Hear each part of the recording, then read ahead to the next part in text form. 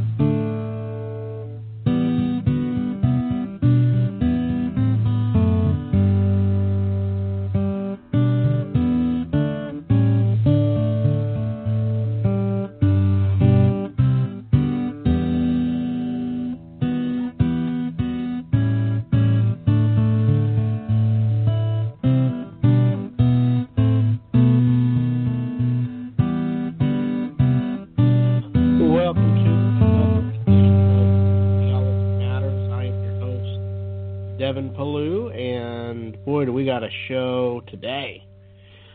We are going to be doing an in depth discussion on The Shack. And uh, you pretty much would have to be living under a rock to have not heard about this this book and now hit premiere movie, uh, The Shack and uh, we're going to talk about that a little bit and uh, delve into it and uh, just talk about some of the reasons as to why it is important uh, that we discuss this book. Uh, and so we will we will definitely do that. Um, let's see. Let's uh, bring in my my friend Marcia Montenegro, who we're going to be interviewing here. And uh, you there, Marcia? I sure am. Hello, Devin. How are you? I'm doing great. Thank you. Yeah, good to have you join us uh, today. We are so glad to have you. And uh, you've been on the show a few times in the past and have actually had you guest host uh, a few shows as we've looked at the New Age and a few other things. But uh, very glad that you are with us and give me we give a little little background about you here. Um, you are let's see the director and the founder of Christian Answers for the New Age. Uh, you were a professional astrologer before converting to Christianity. Marcia is also a graduate of Southern Evangelical Seminary, which is uh, you know, we would say one of the best seminaries there is. uh, yes, absolutely. In fact, uh, I was just thinking both of our um, both of our guests today are actually uh, SES people, so that's that's good. And um, yeah, you you kind of do a discernment type ministry where you are digging into a lot of these kind of um, controversial issues. It seems that poke their heads up a lot. Uh, is that correct? Uh, yes, my focus is uh, specifically the New Age and the occult. However, there are some areas that are peripheral to that or overlap with the New Age, especially today as it mainstreams in the culture. And so uh, when something like that comes along and is extremely popular or is talked about a lot, or if I get a lot of questions on it, unless I determine it's really completely unrelated to my areas, um, you know, I'll try to look into it. And so that's what happened with the shack. And so I would say my, you know, my ministry is Christian Answers for the New Age, uh, but I take on some peripheral things when I can. Not that the New Age isn't vast enough. it's it's so huge. I I could I could just you know not eat or sleep and spend all my waking hours, if it were possible, reading and researching and writing up things on the New Age and the culture, and it still wouldn't be enough. I mean, I just even Yeah. if I lived another 50 years, so mm-hmm. I have to make choices, and so I I do choose to step a little bit to the side of my ministry now. I do find some areas in common with the New Age and the Shack, and even more so recently as far as the author is concerned. So I'm really glad I read it. Yeah, if it's if you don't mind, maybe what I'll do is uh, I uploaded the trailer for uh, the movie The Shack. So maybe those who are not real familiar with the movie, let me go ahead and, and uh, play that trailer, uh, and then maybe um, have you talk a few minutes maybe about the the movie, uh, Marcia. I know you went and saw that last night. Um, Right. spend a little time there, and then maybe we could we could jump into the book and uh, kind of dive into a, a little bit about uh, why these issues are important. Okay.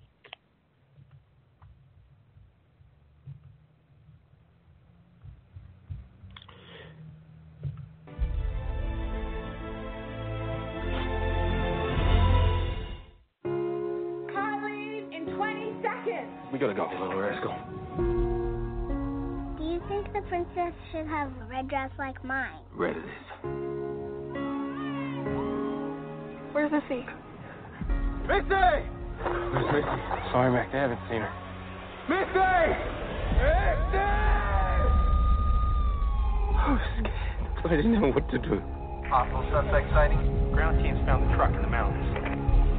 I'm really sorry, Mr. Phillips.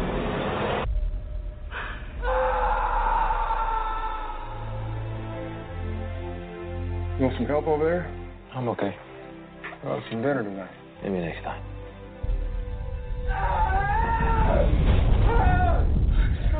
I'm so sorry. We've lost so much already. I don't want to lose you too. The letter showed up in my mailbox, with no tracks in the snow. You're not thinking about going back there, are you? I gotta do something. You know this isn't a good idea. It's crazy, but this is all I got. Got a fire going inside if you want to warm up. The Allen St. Alan Phillips. I've been looking forward to this. Do I know you? Not very well, but we can work on that. This is incredible. He's still having a hard time believing this is real. Why did you bring me here? There's no easy answer that'll take your pain away. Where were you when I needed you? I never left Ain't it just like a tear to go and blur You want me to forgive him? I want him to hurt like he hurt me. You want the promise of a pain-free life. There isn't one. Yeah, when the pain You can do this. I can't. But on your own, you can. This is your flying leopard.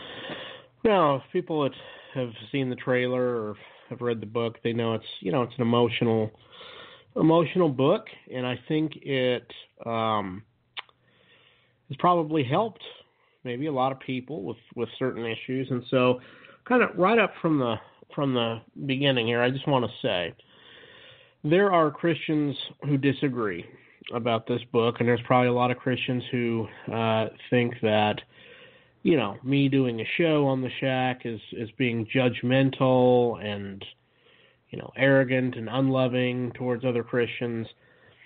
I, we're not going to we're not going to approach this from a a flame throwing type of position. Um, I, I I don't doubt uh, Mr. Young is a very nice man, and I don't doubt his intentions. Uh, I'm sure his intentions are, you know, are good. We can't can't judge people's intentions or people's motives. Uh, but as Christians, we are called to be Bereans. We are called to test things by the scriptures. And, um, you know, I'm just going to say this in America, a lot of times our theology is not really that sound sometimes. We have a lot of emotionalism and a lot of feel good stuff and a lot of, you know, maybe traditions that have been passed down that may not be biblical. And so there's times like this when a movie or a big book comes out where we need to test these ideas.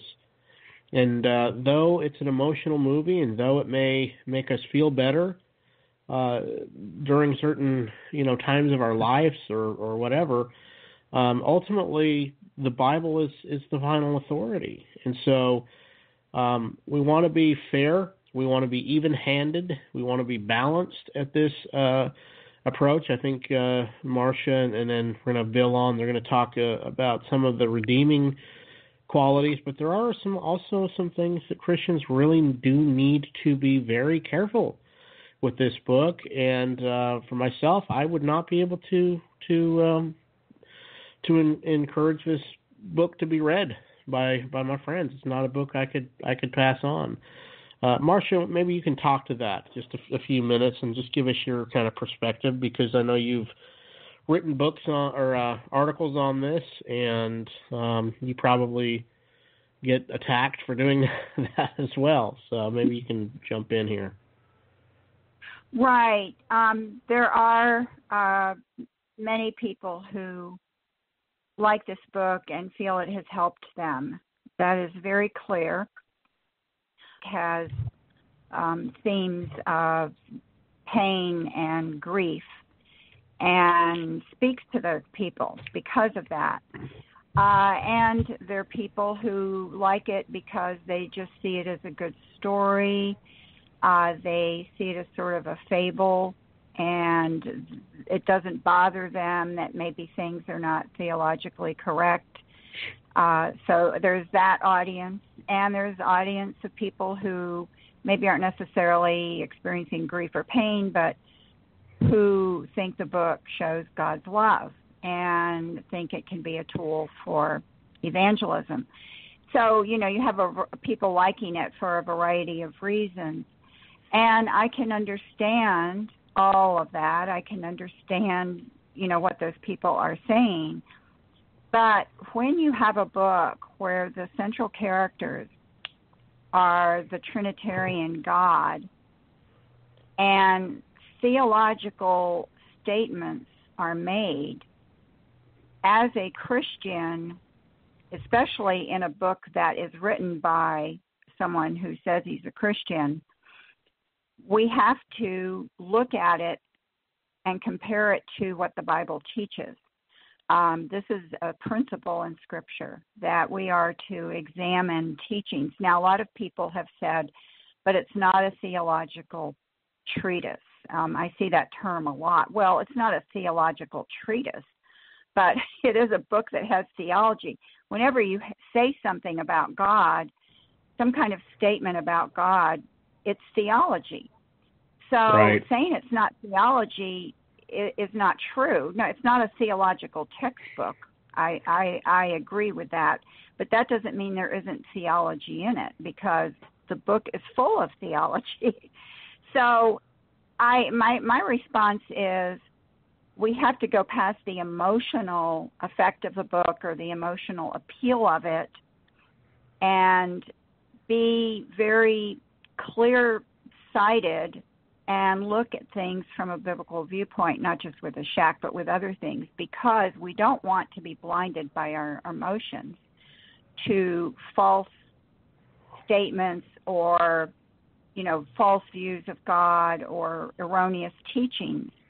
So hmm. that has been basically my response, and and also I say fiction, even if it's fiction, it is talking about God, and God is not fiction. So it's whether it's fiction or nonfiction, in my opinion, doesn't matter. When a book is writing about God or Jesus, we need to look at it based on Scripture. Yeah, very good. I I uh I don't know. I, I think a lot of people use that. Well, it's fiction to kind of dodge a lot of the problems with the book. And just because a Yeah. work is fiction doesn't mean doesn't mean you have a license to say whatever you want about God. I mean, and maybe this would be an appropriate place to bring up. um And I don't even know how you feel about it, but Lewis's work, like Narnia. Uh, Tim Keller had written uh, an article a while back on on the shack and he was just you know kind of making some of the the comparisons but so what would you say to those who say well look if you're against the shack then are you against the chronicles of narnia and all these other type of books or how would you respond to that Well, it's hard for me to respond to Narnia because I haven't read it. so. I feel I feel like it's a little um uh maybe um what's the word, you know, maybe not credible for me. I, I read the first book of Narnia when I was a teenager and I wasn't a Christian. Um I didn't realize that it was about Christianity when I read it. Um I just I guess I just thought it was this kind of allegorical tale and I didn't I I don't know it was kind of interesting and I I liked the plot but I didn't get any meaning out of it. Um I think that that as you know from what I know about it it's presented very clearly as um this it's well for one thing he never comes out and says Aslan is Christ. Now I know that Right. that Aslan is supposed to be Christ.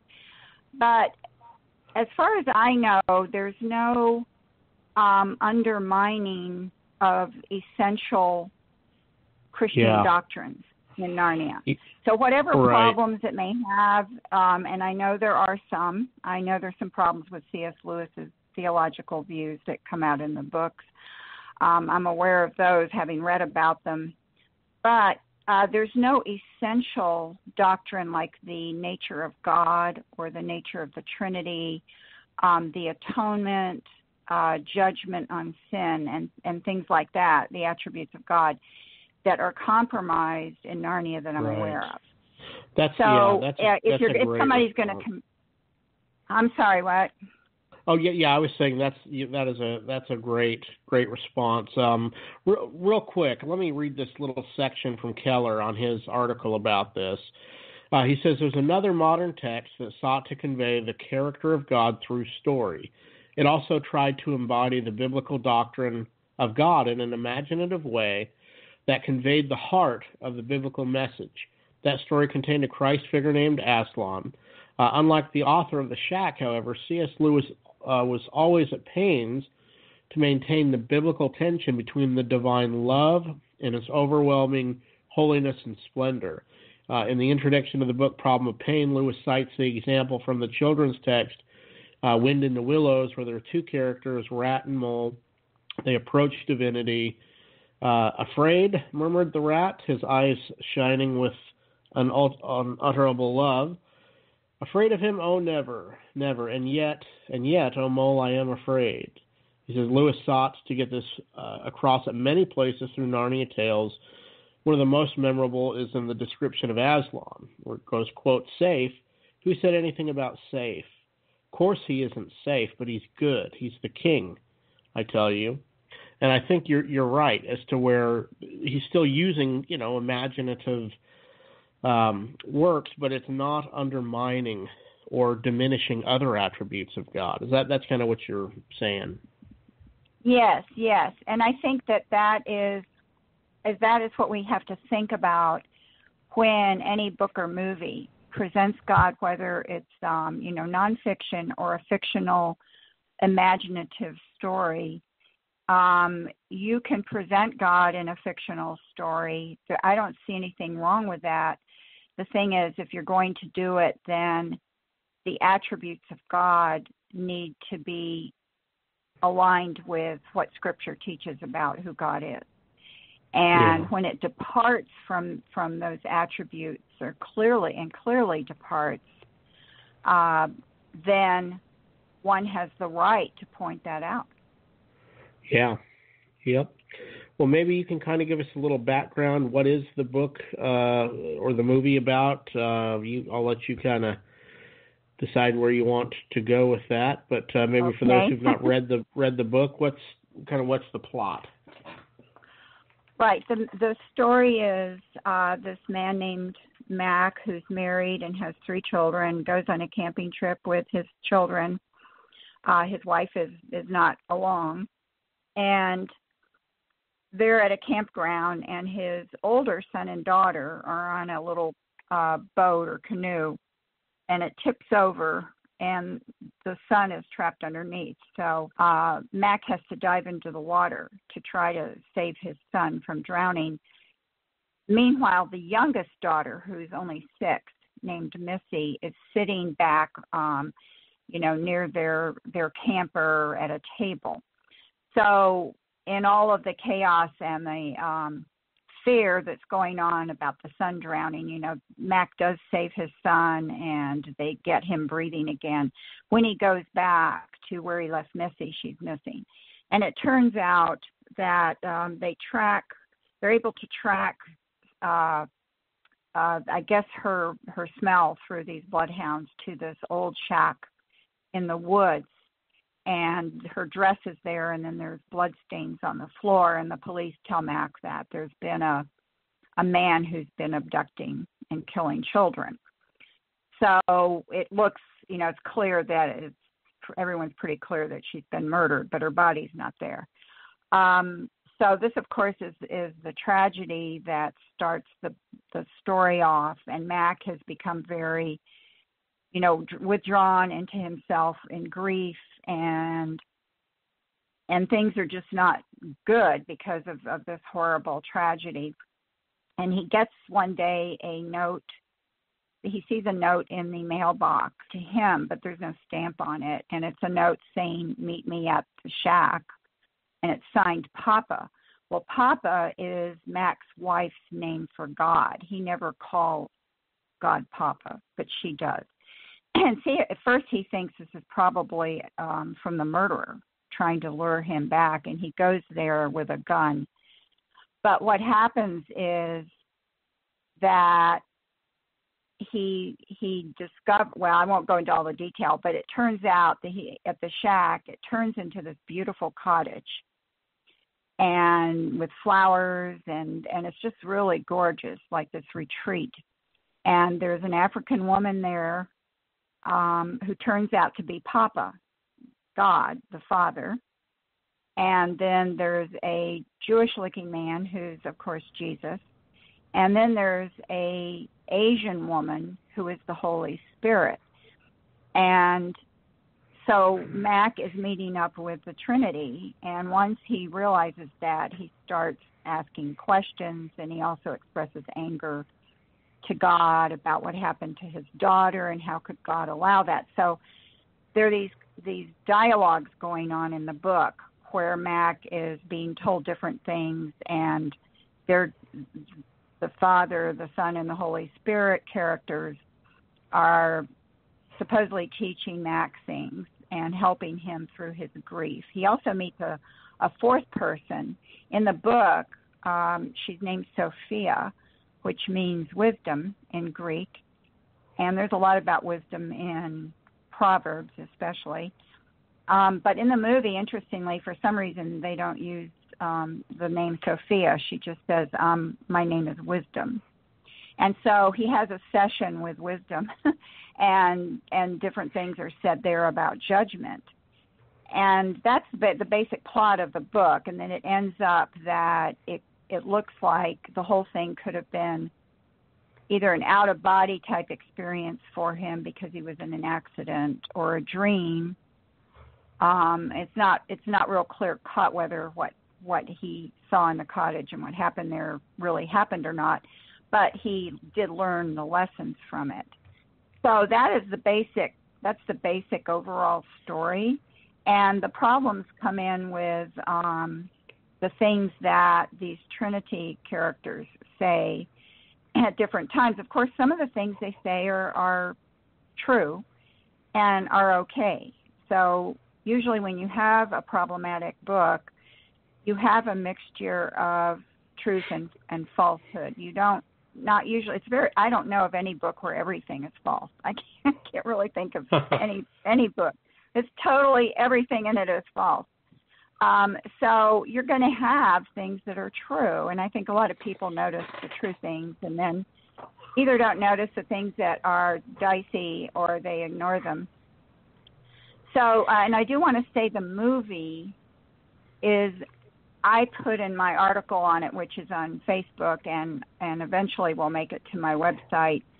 Um, that the movie really softens the book because the movie has the visuals, and this cottage is beautiful in the movie. The colors are it's photographed, um, you know, or not photographed, but filmed very well and the characters are very appealing. I mean, Octavia Spencer, who was recently up for an Academy, um, is is Papa, and then I don't know the actors, but the um, man who plays Jesus is very good, and uh, the woman who plays the Holy Spirit is is very very beautiful.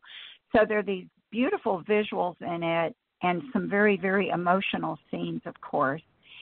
And my feeling in the movie is that this is going to make people who haven't read the book want to read the book. It's going to make people who liked the book like the book even more because it's very, very hard not to like the movie as in terms of its impact. Um, right. Even though it's gotten critical reviews in the secular press, I can completely understand how appealing it is and how someone would like it. So um, however, it's so it's much harder to criticize the movie, and also the movie leaves out some of the more problematic, what I call heretical statements um, that are in the book. Uh, the movie has some, but it leaves out a few real bad ones. So it's going to be harder to criticize the movie than to criticize the book.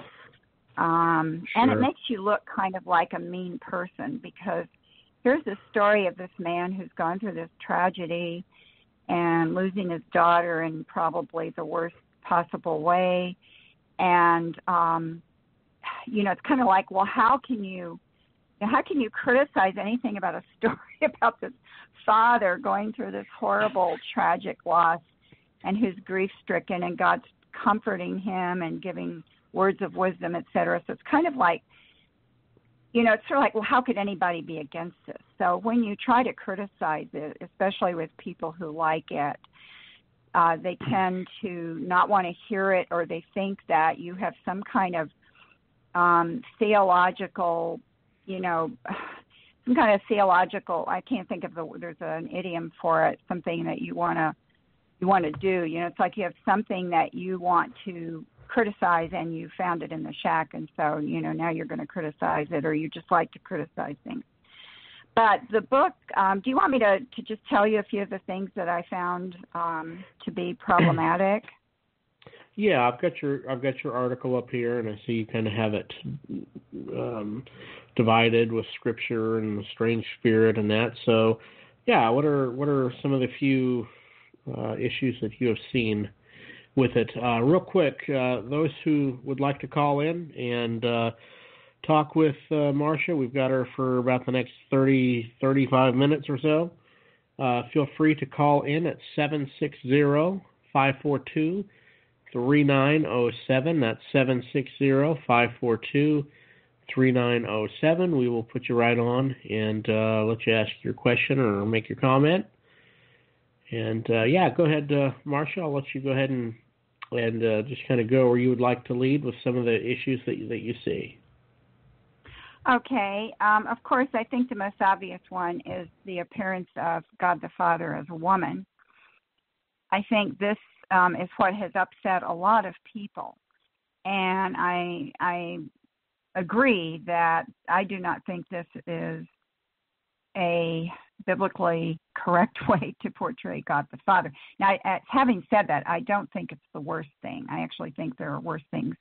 However, you know, the Bible is very clear that God wants to be seen as in masculine terms and as the father. He's never called mother, um, although there are passages where God has what we would call uh, female attributes, um, you know, like um, comforting his children or caring for his children, and other kinds of nurturing qualities, which of course God has. God still is very clear about being referred to as Father. Jesus called him Father. And this is the way God presents himself and how he wants us to relate to him.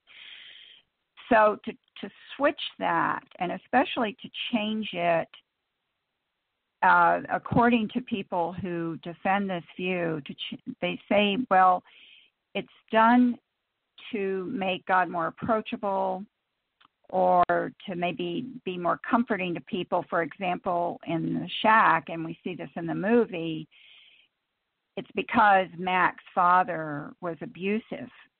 And so Papa appears as a woman because appearing as a man would be more difficult for Mack.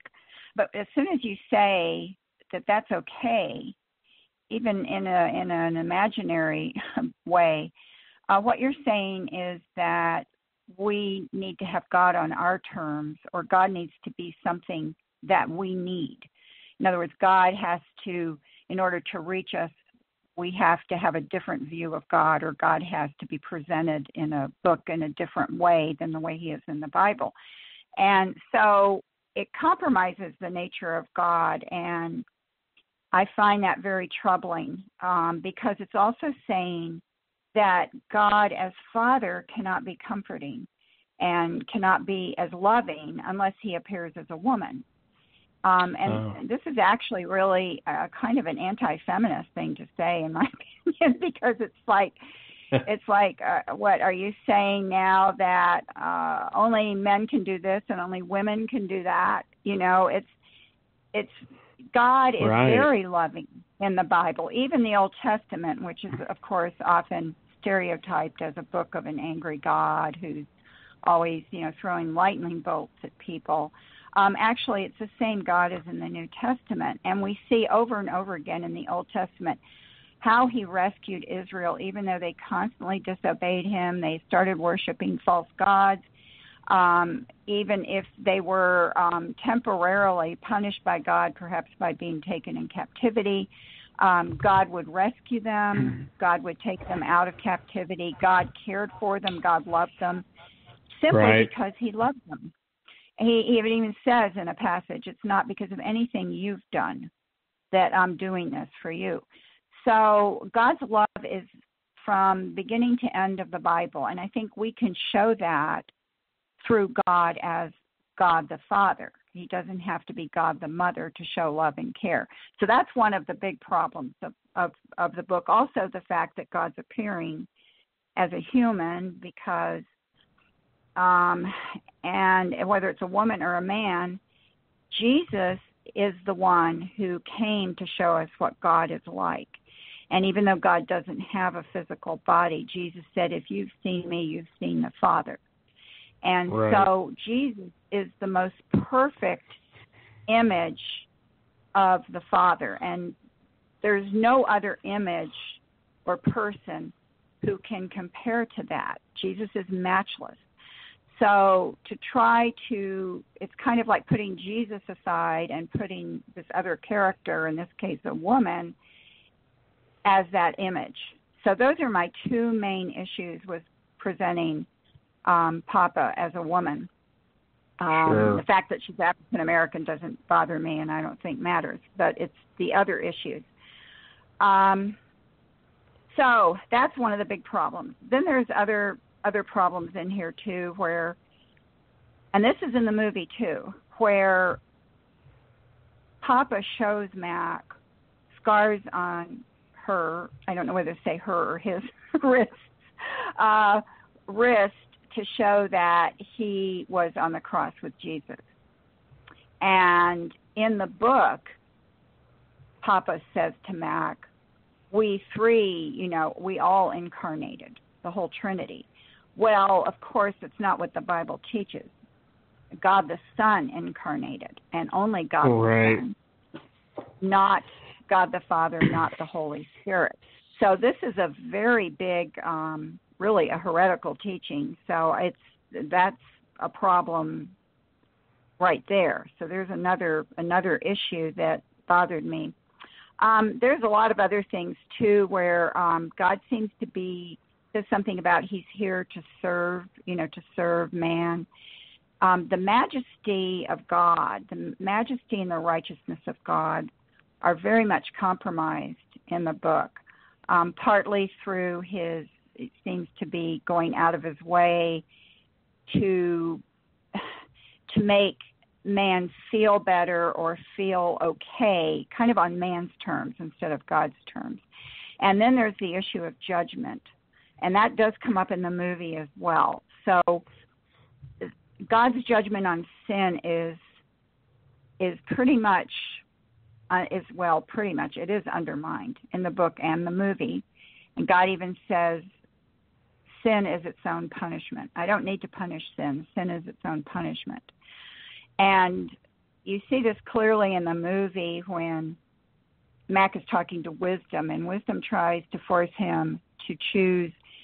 She she has the daughter and son standing in front of him. Of course, they're not really standing there, but they're standing there for this this particular lesson. And she says, choose one of your children to go to heaven and one to go to hell. And she keeps tr- she keeps trying to get him to do this, and he and he refuses. He he won't do it. And you know the whole lesson of that scene that I got in with wisdom was that you know how and she said oh and she says now you know Papa's heart. So well what does that mean? Well it's not really said clearly, but you could take away from that that it's implying God you know doesn't want to judge or God can't judge or God won't judge. You know, it's very unclear.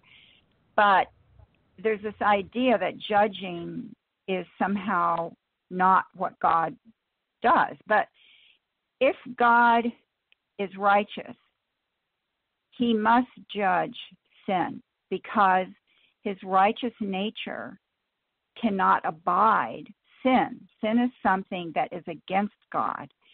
And if God is righteous, and if He's a, a God of love and justice, then He has wrath on sin. And His wrath on sin is completely in balance with His love. It's not opposed to it. And I'm, I think a lot of people see it as contrary to love. So if God is loving, then there's not going to be wrath on, on, on sin.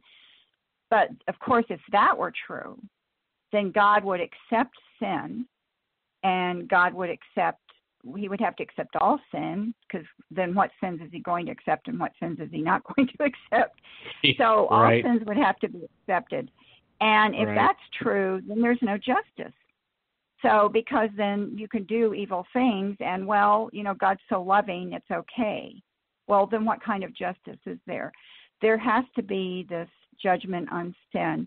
And um there's one point where where uh, they're talking about the murderer, the man who murdered Missy, and Papa says, "He is my son too, and I want to redeem him." Well, that means that he's not redeemed, so therefore he can't be God's son because we're adopted as son and daughters through faith in Christ. Oh, the other thing about the wrath on sin is if there's no wrath on sin and no judgment on sin, then why did Jesus come? Yeah. Yep. Because That's kind of an important What point, was the point of Jesus coming? Yeah. And taking on the wrath on sin and paying the penalty for sin? There was no point in him in, in dying on the cross anyway, um, if that's true. So it kind of does away completely with the need for the atonement for Jesus on the cross. So if you if you know people would think about what are the implications and what are the consequences of these ideas that seem to be presented and or implied in the book and in the movie. What is the consequence of this? Well, one of them is Jesus just wasted his time on the cross. Uh, and there's the, you know, there's a hint of universalism. It's not, it's not really regular universalism, um, like in the Unitarian Church, which does not teach that Jesus had to die on the cross, but it's another kind where if Jesus died on the cross, so everybody is really saved, but they just need to choose to be in a relationship with God. This is in the book. And apparently, before the book was published, when it was first written, it was more clear that that was William Young's view, but they removed that and took it out. So it's hard to show it from the book, but you can see hints of it. Um, my main concerns are the character and attributes of God that are being undermined or changed in the book. Yeah, I, I have a clip um, I can I can play where uh, William Young was interviewed on TBN fairly recently, and uh, it's on. They're talking a little bit about universalism. It's uh, they're talking about his new book, which will probably be Mm-hmm. another show. probably be another Yeah. show in and of itself. Uh, but let me play this clip. Uh, he talks uh, a little bit about universalism, but would love to get your, your thoughts on this. He's uh, this is William Young, author of The Shack, being interviewed uh, on TBN. comma- companions. And a good question, there's a line from Eve, a good question is worth a thousand answers. And so the questions that have come up, uh, and, and you'll hear some of them, like I get, uh, I, I get called uh, different things. Uh, my mom, even when she first time tried to read the shack, called me a heretic, but but she's past that now, and that's a marvelous story. I'll Your tell mama you. but- calls you a heretic. Yeah. That's bad. Yeah, she called my sister and did it. She didn't call me and do it. Oh, got it. So- Tell your brother. Yeah, yeah. And it was when Papa came through the door. Oh, okay. So there's questions about is God more he than she? Do we, you know? And that's one of the lies that God is more he than she, or God is in control, or I mean things that we just make assumptions about that affect the way that we look at God. I get I get called a universalist all the time, and in some senses, I, I'm, that's probably true. I believe the entire cosmos, the whole universe, was created in Christ. If that's a universalist, I guess I am. I believe that we were that we were all included when Jesus, to, to quote Scripture, when Christ died, we all died, hmm. and when He rose, we all rose. Hmm. Right? That nothing that has come into being has come into being apart from Him. But there are parts of the accusation of universalism that I am absolutely not, and and we get to talk about that inside a book like this. Got it? Right? So I'm, I I don't think all roads lead to God. If it wasn't if it, because I believe Jesus is the creator and everything is connected to him, and by being the creator, there is nothing in the entire cosmos that is not in relationship to Jesus. So there's no controversy, in other words, with the scripture that says, I am the way, the truth, and the life. No one comes to the Father but by me. So that you adopt that, right? And And, so you clear that type of stuff up. And, Correct. And the, the only reason that there is any controversy about that verse at all is because we have a too low of a Christology. Our view of Jesus is too small. We just think that he is a response to Adam rather than the creator who is the Father, Son, and anointed in the Holy Spirit. That means everything in the universe has a, has a connection to Jesus. Yeah, so you know, several statements there I I just find very problematic and uh, somewhat ambiguous. But um, you know that uh, God is in control. That's one of the lies that uh, we believe. What what are your thoughts on on that uh, specific clip? Yeah, I yeah, I I I I think that he is rejecting some basic things, basic truths about God given in Scripture, uh, for for his ver- for his own reasons, and he's rejecting these and wants to see that God is more amenable, maybe, to man's needs or or man's I don't know. He's more. God is more willing to accommodate man. I, I get that impression from the from the shack, and from what he what he says there. I I did listen to that last week, and right now when you replayed it, I couldn't hear it real well well real well, so I don't remember everything he said. But it's the other the other thing is that he's just very ambiguous. It's hard. Well, what is Yeah. he saying? You know, is he won't really come down and be real clear cut about whether Jesus is the only way. I I I got the impression in the book that he doesn't think that. But it's very hard to pin him down on it and I find this to be very true of people like Rob Bell and Brian McLaren. Well, it's more clear now with Rob, Rob Bell where he stands because he's drifted Yeah. so far away from Christianity. And but when but these people like that, they tend to be kind of ambiguous. So one moment you're listening to them and they're and you're thinking, well, okay, he's not that far off from scripture, and then the next sentence they'll say something that's that's Yeah. like that makes you go, oh, wait a minute, maybe he is, and um, it's it's it makes it hard to to know well what does he really believe? Now this book that just came out yesterday his latest book lie i think it's lie lies about god that we believe or something like that um maybe he'll be more clear cut in that book i would like to read it i i don't i don't have time right now but at some point down the road i would like to read it assuming clear cut in it um so I, I think that's one of the problems. It's very hard to pin him down on certain Yeah. things. So we have to look at what we do have. now, the other thing that's in the book that was not in the movie, that's a very serious problem, is quoting Paul Tillich and saying that God is the ground of all being. And he makes a lot of statements in the book that are, are what I would consider to be panentheistic. So that's God is contained in creation yet God also transcends creation. So God is distinct from creation, but He's also contained in it. And I did see that hinted at in, in several places in the book, and then especially at the end, where and this is said by by um, Papa to Mack, uh, or is it said by Jesus? I have to look at my article. It's one of the Trin- one of the Trinity characters says this to Mack that God is the um, uh, ground of all being, and I I when I read that, I really almost jumped.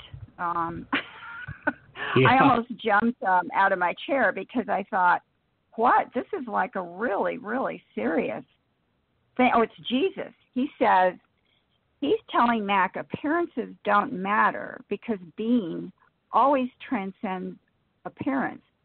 And he then he says, God, who is the ground of all being, dwells in, around, and through all things ultimately emerging as the real, and any appearances that mask that reality will fall away. Well, when I read this, immediately this took me back to my New Age beliefs because this is very uh, Hindu and New Age, this view. So you have to ask yourself, well, wait a minute. God is the ground of all being, and appearances that mask that reality will fall away. So are appearances false? Are they not reality? Is there only is God the only reality? I mean, it almost sounds like that. It it reinforces um, this idea that our world is not the real world, and um, so you have. Oh, I write about that in my article. Um, people interested can read my article on the book at Christian Answers for the New Age um, dot org under book evaluations, and I have a few a whole few paragraphs on just that one statement because this is a a not only an unbiblical view, it's an anti-biblical view uh, because God created the world and the world is real. It's not just an appearance that is masking reality, and God is not underlying the world creation reflects that there's a creator, and creation reflects um, the power of God and His immensity, His vastness, the infinity of God. Because you know the, our our universe is so vast, we can't even count all the. We don't even know how many galaxies there are. There are much less how many stars there are. It just goes on and on and on and on. And Right. so far that we can't see them. I mean, this shows how incredibly vast God is because He created all this. Uh, so it it reflects God, but God is not at all a part of creation in any way, shape, or form. But this statement here definitely says that He is, and and there's other statements Young has made that imply He has that view, and that to me may be the most serious problem in the book, or maybe one of my top three serious problems in the book. So um, I, I do want to mention this because I think it's related to what I just discussed. Can I say something about the conference that Young? Oh is, yeah, yes, yeah. Let me uh, let me give the number out real quick and then uh, Okay. carry on. Yep, I want to get uh, let people if they want to talk with you be able to call before you got to go. The number is seven six zero five four two three nine zero seven. Uh, seven six zero five four two. 3907. Would love to hear from you. Feel free to call in and we will put you on with uh, Marcia. But go ahead. You were talking about a particular conference. Yes, um, there is a conference uh, that William Young is going to be a part of in early April. This conference is sponsored by a man named Richard Rohr, who's a Franciscan uh, priest who has the Center for Action and Contemplation in Albuquerque, New Mexico, which is a something he started a number of years ago. And the other person that's going to be part of this conference is um, Cynthia Bourgeault. Uh, and the conference is interestingly on the Trinity. And this is kind this is really sad because Richard Rohr and Cynthia Bourgeault both have heretical views of the Trinity. And and Young is joining them. They're the only three. They're the three speakers, and it's sponsored by Richard Rohr. Now, I have posted many times on Richard Rohr on Facebook. He's very problematic. Um, one of the main problems is he makes a distinction between Jesus and the Christ. So the Christ is more than Jesus. And this the is Christ Richard does. Rohr. This is Richard Rohr, um, R O H R. So the is he, is he, more. is- I'm I'm sorry. I'm sorry, Marcia. I was just going to ask. He's uh, you say he's a Franciscan. He's a Franciscan priest. And Okay, Cynthia wow. Is Franciscan too. I, I think she's a nun, technically. Um, but and they're both on the same page theologically. Um, Richard Rohr, let me say this quickly so people understand Richard Rohr. He has had New Agers and Buddhists and other non Christians speak at his conferences. He calls himself a perennialist. There's really a lot to say about him. He calls himself a perennialist, which means he sees he's, he believes there's truth in all religions, but not just that. They're all leading towards this one truth. Everything's evolving because he and Cynthia Bourgeault are followers of Teilhard de Chardin. Now, I am not an expert on Teilhard de Chardin, but I I do know his view was that everything is evolving towards this point called the omega point, which is this truth, and everything is going that way. So it's it's like there isn't really anything false because everything's evolving towards the truth point. And G and Christ, the cosmic Christ, um, who is really beyond a personal being and is beyond Jesus, is drawing everything towards the omega point. So they're both followers of Teilhard de Chardin. They're both admitted panentheists. They both admit it. They're followers of another woman named Ilia Delio, who has written quite a bit about her panentheism, and she is Roman Catholic. Um, this and so there, and also oh, even beyond that, Cynthia Bourgeault is also a follower of Gurdjieff. Now Gurdjieff falls right into my New Age areas um, very nicely because Gurdjieff was a part of the Theosophical Society, which is uh uh like an early New Age occult Eastern group. And then he he left the Theosophical Society and went out on his own, formed his own group, got his own followers, still has followers today. And Gurdjieff called himself a mystic Christian or a Christian mystic. And of course, he was not Christian, but he takes Christianity and blends it with these esoteric Gnostic type belief systems. And so that's where Gurdjieff's coming from. Well, Cynthia Bourgeault wrote a book on the Trinity, and underneath it, if you look at the cover of it, it says the Law of Three. She writes that the Trinity is based on the Law of Three as taught by Gurdjieff. And I mean, then it just goes downhill from there. And Richard Rohr has written a book on the Trinity. I have not read it, but I read an article about it by Fred Sanders. And I have a post on um, everything I'm talking about right now is a post on Facebook. If you do a search with my name followed by Shaky Shack, Shaky Trinity, it will probably come up. And I Okay. have all this information in that post. It's not on my website. And Fred, and I have a link at the end. I have links to many di- different things on Richard Rohr um, and other things. And I have a link to the article written by Fred Sanders on the book on the Trinity by Rohr, which of course is heretical because he has a heretical view of Jesus to begin with. So of course his view of the Trinity is heretical. And he's a follower of Teilhard de Chardin, who is a heretic. And you know, it just the more you look at these people, the worse it gets. Well, William Young, by the way, wrote the foreword to Richard Rohr's book on the Trinity. Oh, wow. Yeah. he wrote the foreword to the book. And now, which I guess means he agrees with it. You know, I would like to read the foreword. I haven't, but he is now joining them for this conference on the Trinity. I, I don't know if, um, you know, audio will be available of it. I would like to get it because I would like to hear, especially what William Young says.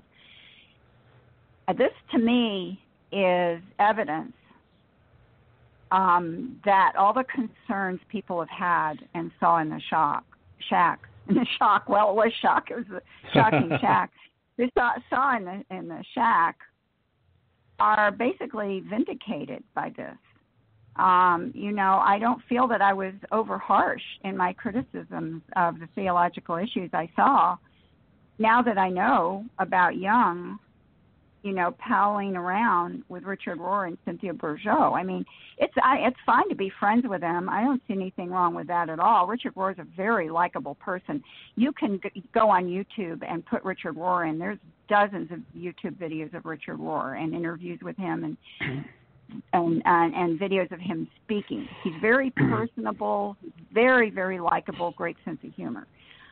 But to go uh, in with them theologically is like the biggest red flag I can think of for Young.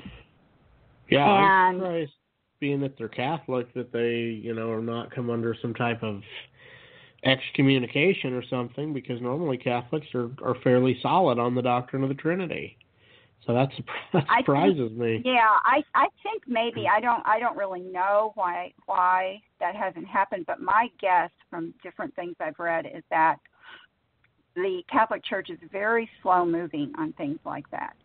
They are Okay. very, very, very slow moving. It takes a lot of time and effort to get them to even investigate, much less do anything. So I think until Rohr maybe I don't know, maybe it's maybe they are investigating him and we don't know about it. That's possible. Um but for whatever reason that's not my concern. My concern is Yeah. that that Young is being read by people when he's somebody who's okay with Richard Rohr's theology. Right. Well, give us uh, give us a couple concluding thoughts there. We've got around two minutes or so.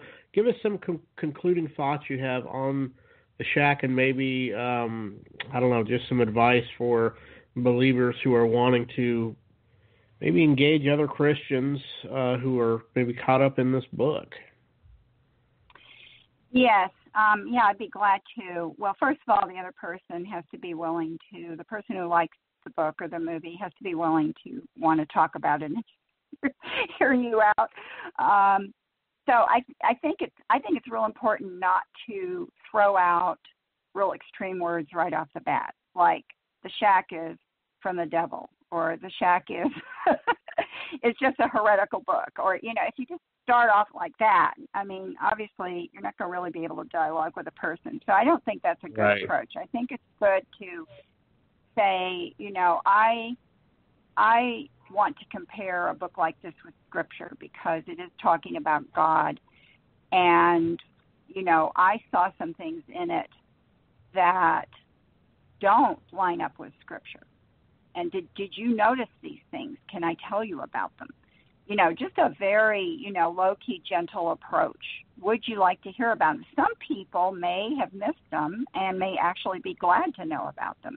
People do change their minds on books. I've seen it before with people who liked a bad book. If they really, you know, listened or read something someone wrote pointing out the problems, uh, you know, they've come back and said, you know, I'm glad that I read that. I missed that, or now that I think about it, I see that that's not good. So, you know, just just say, can I show you? where there are problems. So you have to know, be aware of the problems. Now, if you haven't read the book or seen the movie, you can read my article or an article by uh, Dr. Geisler, and your next your next guest, Bill Roach, is a very good article. And there's several other articles. It's easy to find them online. And I think it's okay if you haven't. Now, a lot of people will say, well, if you haven't read the book, you can't tell me what's wrong with it. Well, you can say, well, what about this person who read it and wrote this? you know, this Christian read the book and was bothered by several things. Here are some of the things they were bothered by. So at least be familiar with an article that that lays out the problems and just you have to know all of them, but pick you know two and bring them up with the person. So we we we want to dialogue, especially you know with other Christians. We don't want to be divisive and um, you know make them feel that you know, we don't want to make them feel like they're bad people or something because they like the book. We want to help them see the problems in the book. So I I don't know. That's my best my best answer on on doing that. I'm not the best at it myself. I have to remind myself to be patient because I tend to uh, get very intense. So I this is I'm talking to myself as much as to anybody else. Right. Well, yeah. I mean, you're you're so knowledgeable, and uh, just really appreciate you you being willing to come on. Give us your give us your website again for people uh, can check it out. And what's the the name of your article again for people that are wanting to look at that? Okay, it's uh, ChristianAnswersForTheNewAge.org, and which is the name of my ministry. Um, and go under go to the articles page and then go to book evaluations. And it's called What's at the Back of the Shack, but it's it's um, alphabetized under S, so that if people are looking for the shack, they would they would see it hopefully. And um, if they want to read things on Facebook, I've written about this. Then I have a personal page, and I also have a Facebook page called Christian Answers for the New Age that should be very easy to find. And I have several posts there right now that deal with the shack. So those are some different ways people can read the material I have on this topic. Okay, great. And I actually just um, I posted your article in the okay. comment section below on our Theology Matters page. So, uh, folks, if you're out there looking for the article, just go to the, uh, facebook.com slash theology matters with the Pellews. That's facebook.com slash Theology Matters with the Pellews, and uh, that'll get you to that article. So, Marcia, I want to thank you for coming on. And, you know, we've had you on several times before, and I imagine, God willing, we'll have you on several times again. I hope so. Thank you so much, Devin, for having me as a guest. I really appreciate it, and it's always a pleasure to be on with you. Absolutely, absolutely. We will look forward to uh, having you on again. Okay, great. Thank you. All right. God bless. All right, folks. Uh, what we're going to do is take a break for a couple minutes and uh, transition. We're going to bring Dr. Uh, Roach on the show. He's on the line. He's waiting. So hang in there, there uh, Bill, and uh, we'll get with you. And we'll go ahead and take a, uh, a break for a couple minutes. We'll come back. Well, we, we will continue our discussion on the Shack, an in depth discussion. This is John MacArthur. Join me for today's Portraits of Grace. When God devises a plan, He always makes the necessary provisions for carrying it out, even when that plan may seem impossible from our finite perspective. I'm sure the Israelites must have had some lingering concerns about God's plan to take them out of Egypt. Could the sprinkling of blood on their doorpost truly keep the angel of death from killing their firstborn? And what about following Moses across the bottom of the Dead Sea with massive walls of water on both sides? Well, in spite of those circumstances, they obeyed, and God proved faithful. I hope you realize that God's provisions are always best. They may sometimes seem hard to believe to the human intellect, but you prove your faith when you trust God, believe His promises, receive His provisions gratefully. This is John MacArthur encouraging you to live as portraits of grace.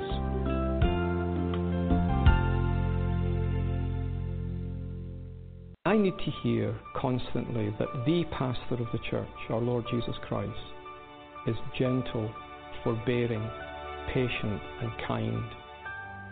There's a wonderful text in the 18th Psalm where David says, Lord, your gentleness has made me great. What do you expect from a pastor? I want them to preach faithfully, that's absolutely vital. What about his character? Is he kind? In his humanity, our Lord Jesus Christ was moment by moment upheld by his Father. And if that is the model, then Reformed pastors will be men who recognize that they are upheld men. In other words, they are spirit dependent servants. And Reformed pastors are to be men who serve the people of God and the people are to know that their pastors are men who will do all within their powers to seek their good, who will go out of their way morning, noon, or night to serve their spiritual, present, and eternal good. Not men who cultivate a name for themselves, but men who have one boast Jesus Christ is Lord. One of the principal notes of the Reformed pastor will be to help his people more and more understand this that they're a people that God loves. That is the pattern that is to shape the life and ministry of the Reformed pastor.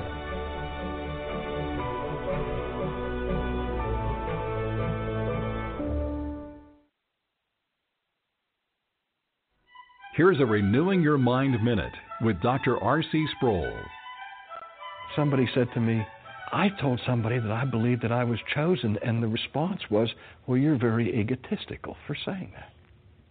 Now, if we think that we're chosen because we were so eminently choosable, and that God chose us for something He saw in us or foresaw in us, yes, that would be supremely egotistical.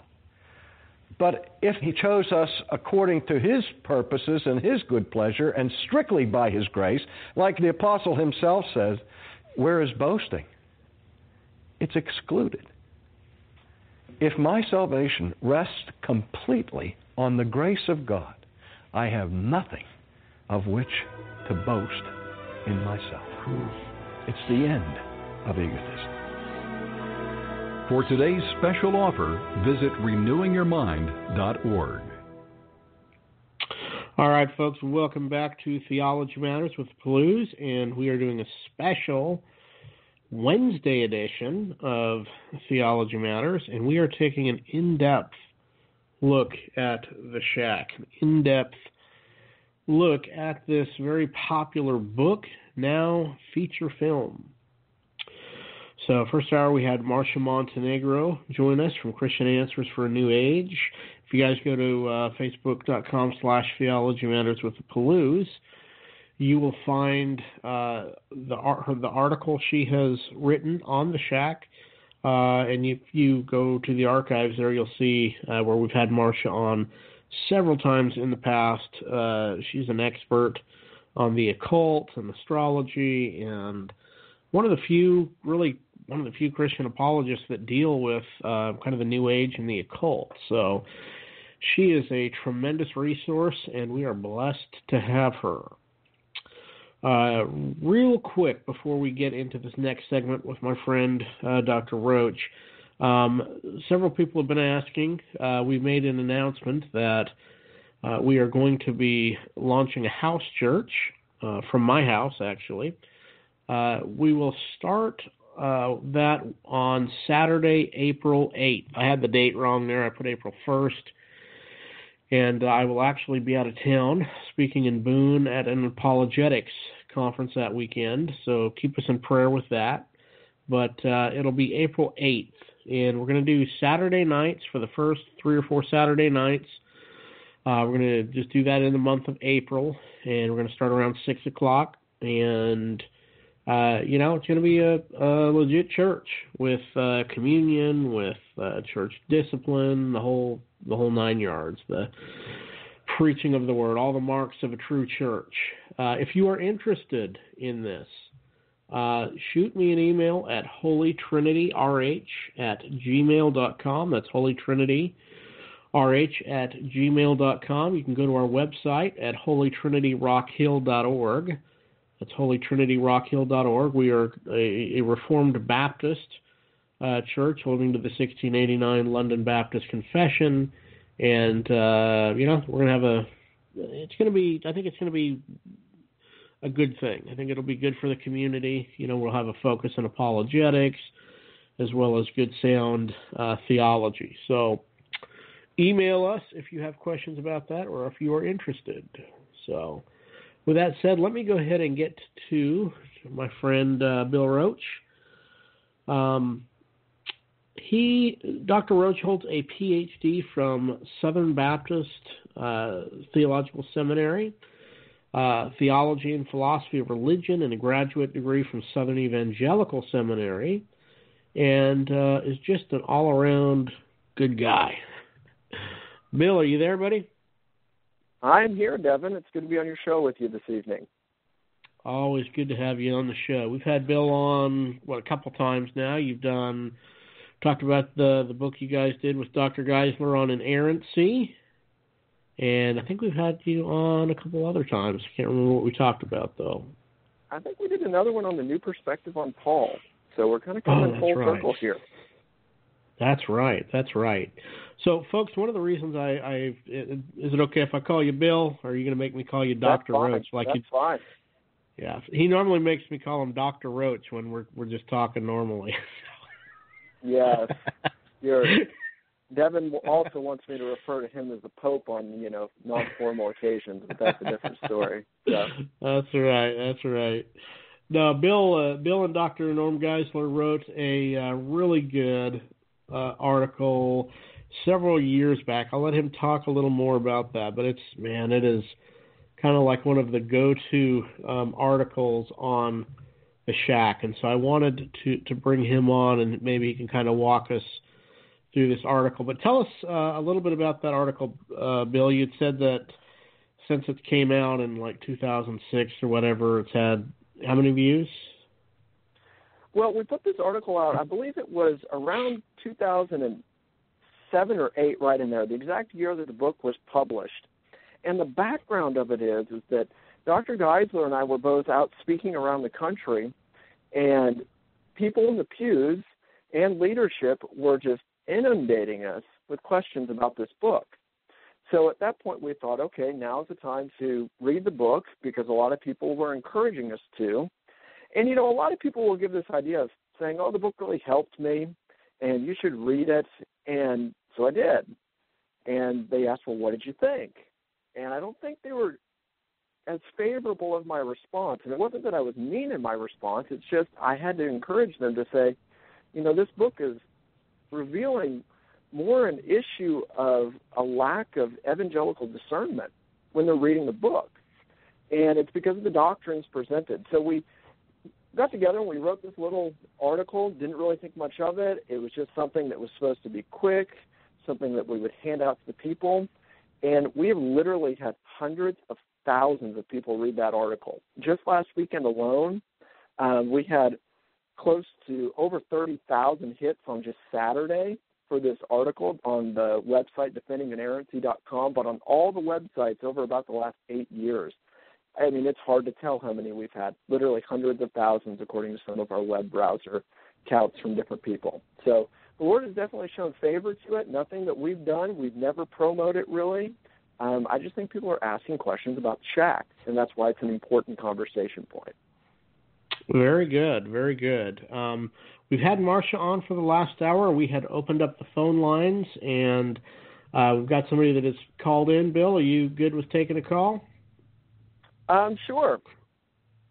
you you really haven't got to say uh, anything, but uh, probably be on the on the heels of what Mark just said.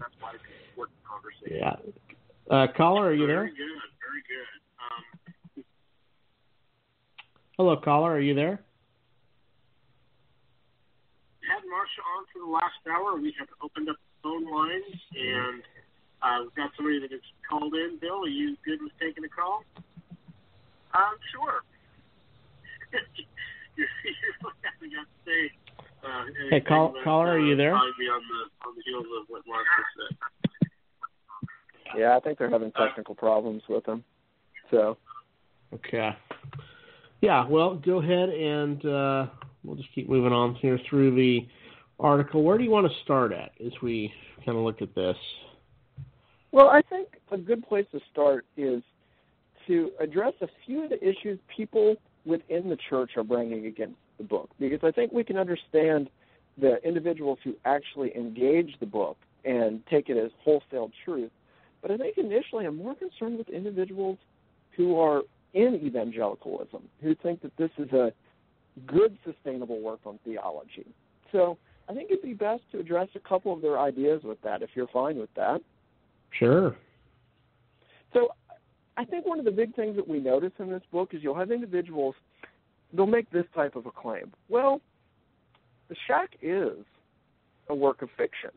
And because it's a work of fiction, we have to give him the literary license to make, you know, a freedom of choice and the lack of precision that can come about mm. from that type of genre of literature.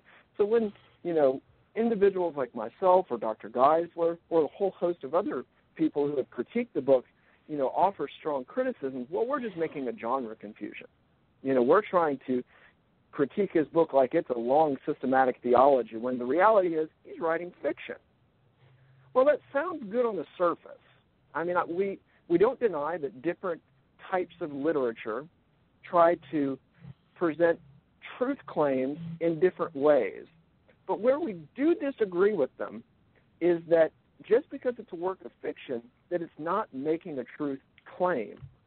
Because when we're reading through this book, we can see page by page, he's making a sustained theological argument.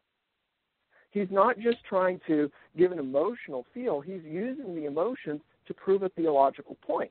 A second issue that we find with this is that when we read the text of Scripture, we see there are different literary genres. You have poetry, you have history, you have parable, you have apocalyptic, you have what can be seen as prophecy, and so forth. And even in all of those different genres of literature, we see sustained theological argument being made. Truth claims are being made. But the difference is, is that when Scripture is telling us something about God, regardless of the genre, it's telling us a true claim about God. Whereas when we look at the shack and we look at its sustained argument, regardless of its genre, we disagree with the fact that it's making false claims about God.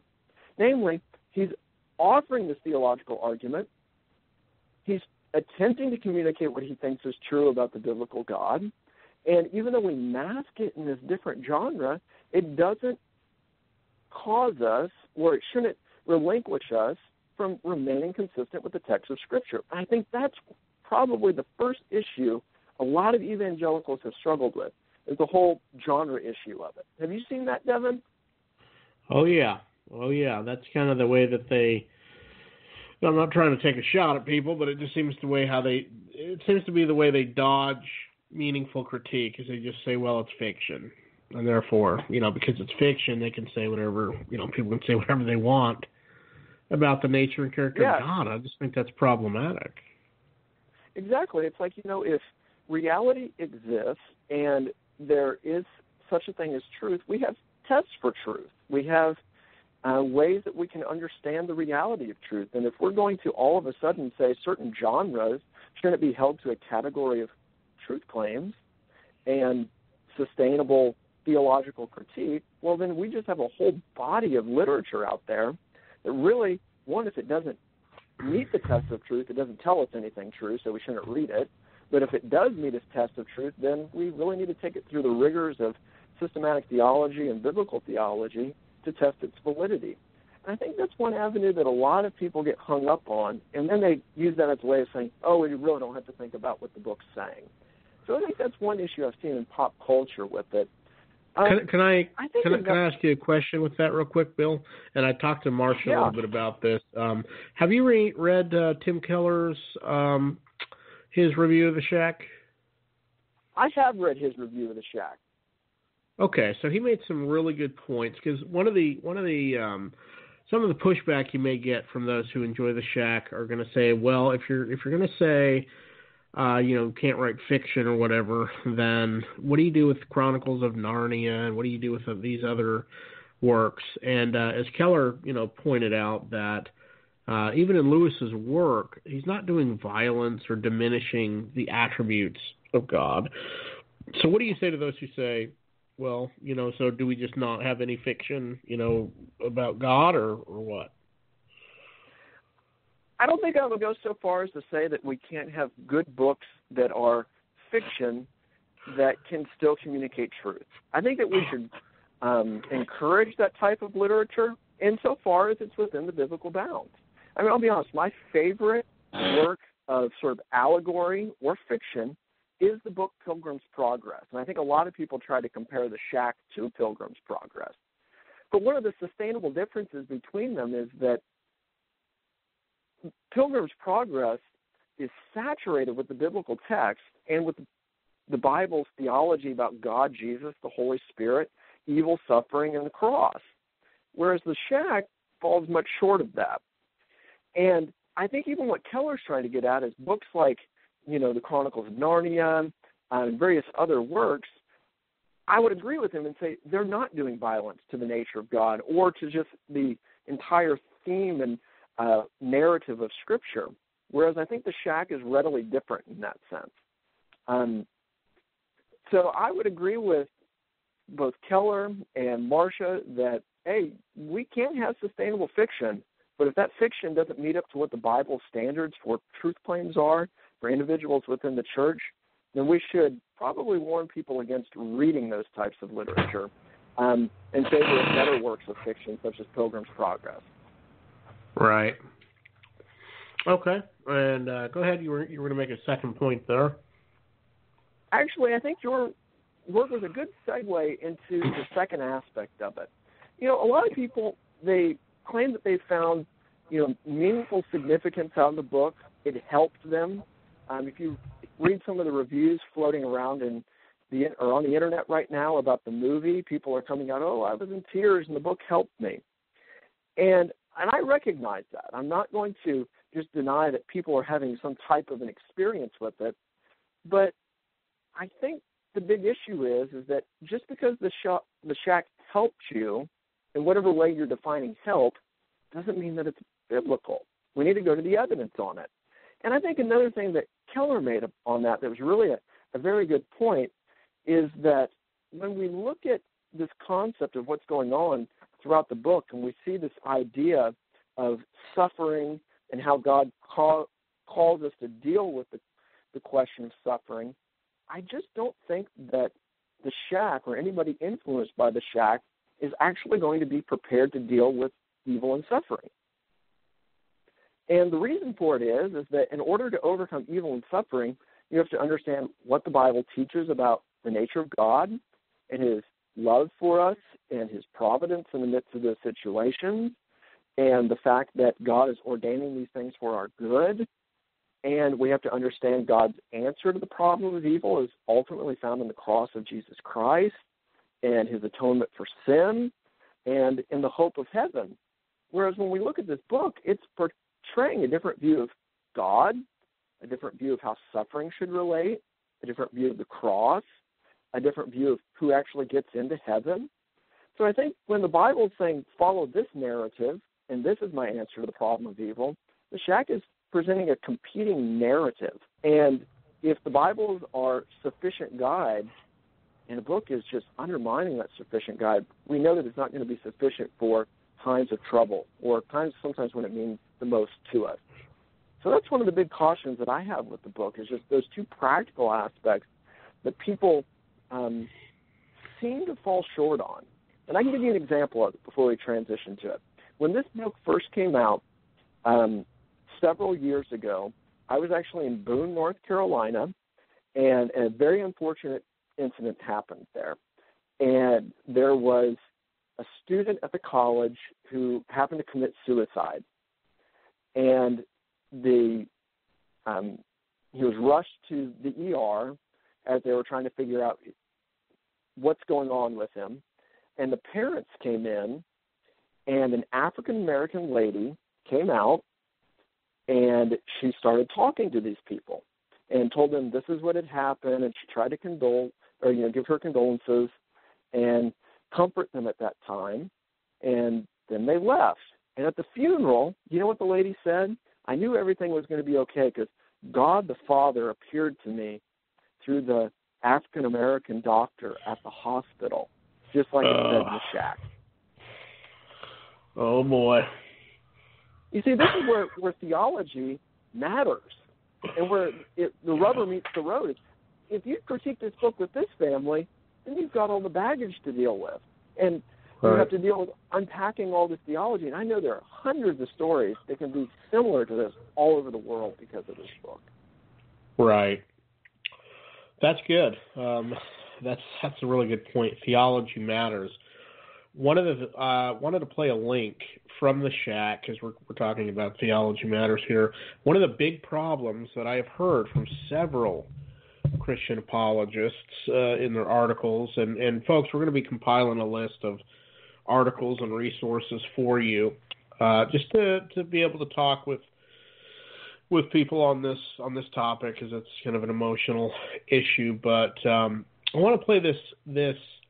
Um, soundbite here with William Young, and he's being interviewed on TBN, and uh, he says he says a bunch of things. Uh, I played it with Marcia, got her reaction. Uh, would love to hear your your thoughts on this. So I will go ahead and play this. This is uh, author of the Shack, Paul Young, being interviewed on uh, TBN. I believe it was the Praise the Lord broadcast. Companion.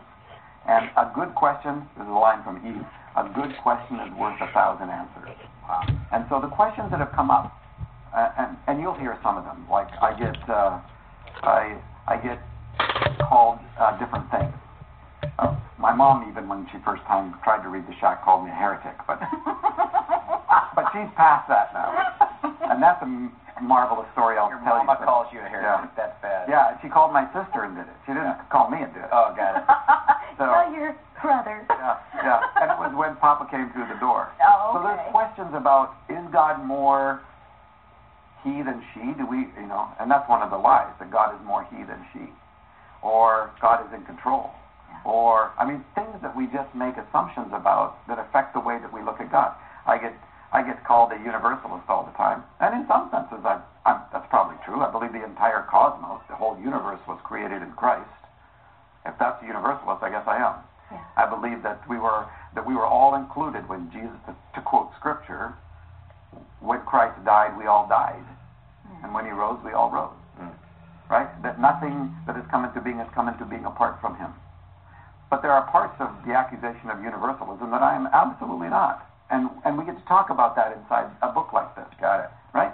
So, I'm, I I don't think all roads lead to God. If it wasn't if, it, because I believe Jesus is the creator and everything is connected to him. And by being the creator, there is nothing in the entire cosmos that is not in relationship to Jesus. So there's no controversy, in other words, with the scripture that says, I am the way, the truth, and the life. No one comes to the Father but by me. So that you adopt that, right? And, the, and so you clear that type of stuff up. Correct. And the, the only reason that there is any controversy about that verse at all is because we have a too low of a Christology.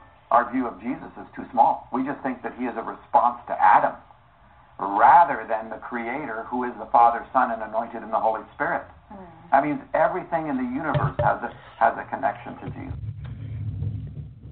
Yeah, you know, as I was talking to Marcia, it sounds like we're going to have to do another show on his new book. There's some real problematic things in in in that. It's it's ambiguous, and give us your thoughts on this. Well, I want to start off by saying I agree with him. I don't want to have um, a view of Jesus that is too small. You know, I want to have a view of Jesus where he is creator, where he is Lord, where he is the Lamb of God slain for the sins of the world. But I also want to have one where he's recognized as the Lion of the tribe of Judah, who came first as a um, the Lamb of God, but yet he returns a second time as we said, the Lion of the tribe of Judah, fully clawed, ready to display the fullness of the nature of God. And I think my biggest complaint with him is is that the Bible does already present this full view of God and this full view of Christ, and it's not one that's inclusivistic. And there's a lot of language that's used in here. If you don't hold to his view of God, you have the smaller view of God and the weaker view of Christ. Whereas I just think that we should question that outright. Because how can I have a bigger view of Christ than the eternal Son of God who was an added humanity in the incarnation, bore the sins of humanity, and rose from the dead? And when we start to unpack a few of these things around inclusivism and universalism and so forth, I think people get confused in this language here.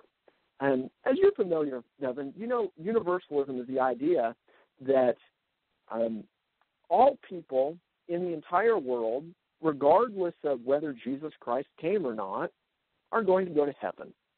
So the good Buddhist, the good uh, Mormon, the good Muslim, the good Christian, they're all going to go to heaven. Whereas inclusivism is the belief that because of what Jesus did, people can go to heaven regardless, and here's whether or not they are a Christian, know about Christ, repented of their sins, and embraced them by faith. So one is trying to affirm the view that Jesus didn't have to die, come, or do anything, whereas inclusivism is, in a sense, half right, affirming Jesus had to die on the cross for the sins of humanity, but it's wrong in that it's giving this idea that somebody can have a lack of knowledge of Christ and a lack of faith in Christ and still get saved. And the issue is is that there's really no biblical support for it. It's a twist right. of these passages. I mean, you heard him in there, Acts. Uh, I mean, John fourteen six. I am the way, the truth, and the life. No one can come to the Father except through me. But yet, we also see other passages where we see that there is no name given under heaven by which men can be saved and the Bible says, unless you believe that I am the Son of God, you will die in your sins. The Bible also says, whoever does not obey the Son shall not see life, but the wrath of God remains on him. It also says, whoever does not believe is condemned already, because he has not believed in the name of the, God's only Son. So I think the Bible pushes back against that idea.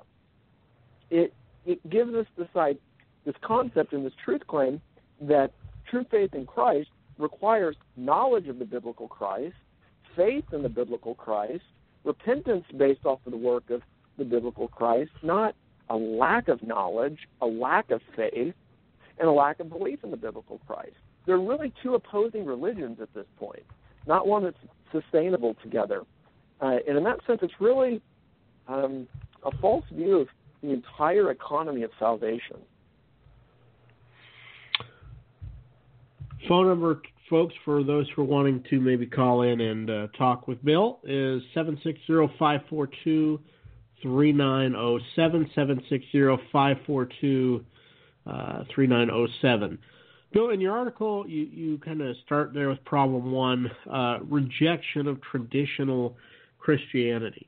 I, I looked at Rob Bowman's article uh, today, and Rob Bowman is an excellent theologian and uh, apologist. And one of the things he talks about is kind of an intro to um, William Young's life. And man, it sounds like that guy really went through it.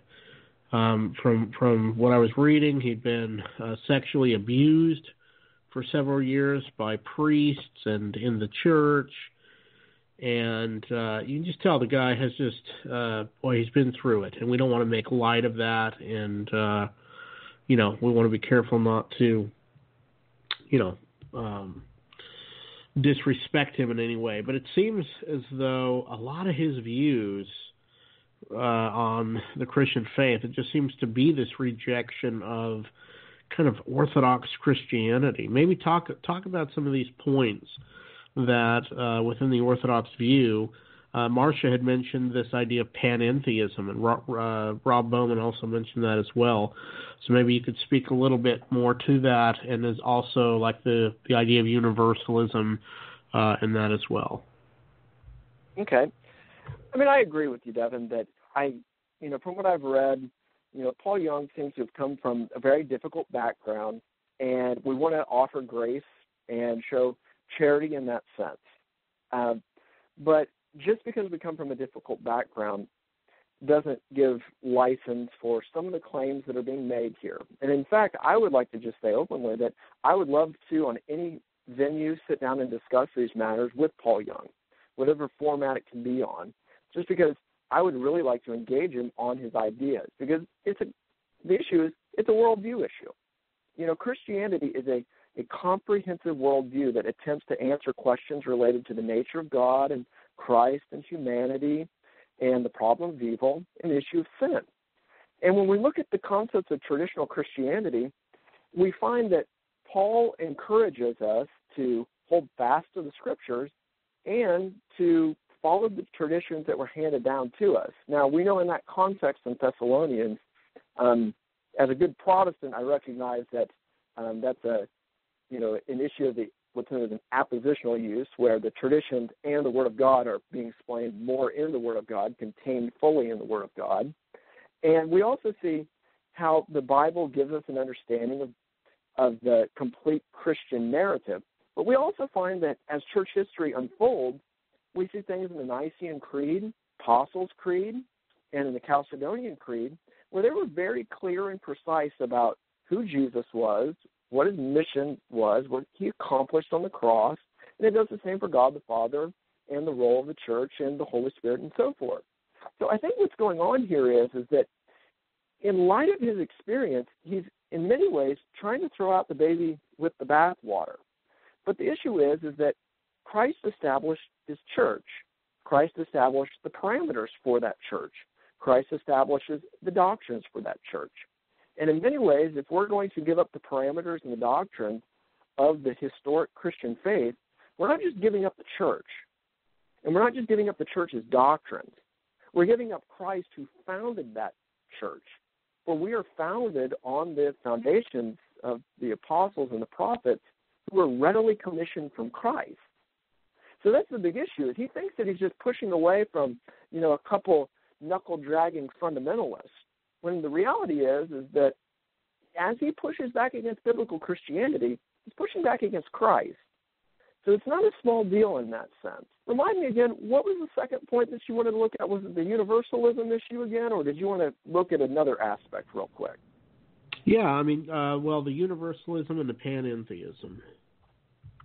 Okay, I think in many respects we've we've seen that he's a lot of people charge him with with universalism, and I think he claims to be an inclusivist. I think he recognizes that um, Jesus died for humanity, but the problem is is that um, he doesn't recognize that one must have faith in Christ and repentance towards Christ. And that's the difference between an exclusivistic view of the atonement versus an inclusivistic view of the atonement. Exclusivism, which is taught in the scriptures, teaches that yes, Jesus Christ died for the sins of humanity, but we also are given the gift of faith and repentance to believe in Christ, and we have to have that knowledge and faith and repentance. Whereas Young is trying to say, Jesus died for this consummate view of, and group of people of humanity. However, they don't have to have faith, knowledge, and belief in that Christ. And like we read earlier, that's just contrary to the biblical narrative. Uh, the second thing that you were trying to get at there is that, you know, we can get tied up in terms like panentheism, and we can also use terms such as process theology, which is this idea that God is changing, that God is um, trying to fulfill a pole or an end, um, that God requires us, that part of God's speaking nature necessitates that we be there because he has to have a conversation partner. Um, this is just classic process theology. Uh, we find it in a lot of dramatic approaches to doctrine that come about. Um, and the issue is, is that ultimately God does not have a nature in their view. God is merely a bundle of propositions. He's he has the proposition of compassion today. He has the proposition of grace tomorrow, because you see these in you know the text of the narrative. But what's to say that that proposition of grace or compassion today is going to mean that he has grace and compassion tomorrow? It doesn't. Right. Propositions Right. don't give a sustainable continuity into the future. A nature does that. So that's why we say that God is compassionate by nature. God is uh, containing grace and gracious by nature. God is perfect by nature. And if God is necessarily perfect, he's unable to change. Therefore, we don't just have hope in the property of God's grace, we have hope in the nature of God's unchanging grace for the future.